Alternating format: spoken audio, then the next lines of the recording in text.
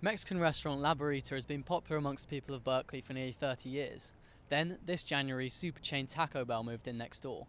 Is this town too small for the two of them? Today, I'm on Berkeley's Sproul Plaza to try and find out. I'm Max Bromelo for Cal TV News.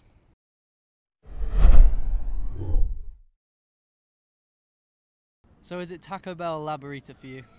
Fuck Taco Bell. I'm gonna say Taco Bell. La Burrita. Uh, La Burrita. I would say neither, and that Berkeley needs to step up their Latin cuisine. What about Taco Tuesdays? Do you think that La Burrita needs to offer alcohol? I would. Yes. Yes. Um, I don't think so because I feel like everyone that goes to La Burrita is already like pretty wasted. So I think like it's already done beforehand. So I don't. I think they're good at where they are. So, is this a victory of capitalism over the working man for you? Maybe, but like Taco Bell also has some like good icy freezes, so that's good too. It's dangerous. Uh, it's greedy. It's not healthy for students. I guess a good thing in a way, just because it, it encourages other businesses to compete more. we need to support the local businesses. Uh, we don't want any chains here in Berkeley.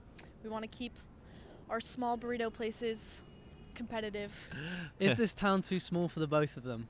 Is this town too small? Um, I would say yeah. I don't see one like existing and the other one still existing a year from now. I think one is gonna have to win, and I don't know which one it's gonna be. For now, the jury's out on the battle of Taco Bell versus La Burrita. Only time will tell if the two can thrive alongside one another. Shall we go and get a pint at Taco Bell then? No. No.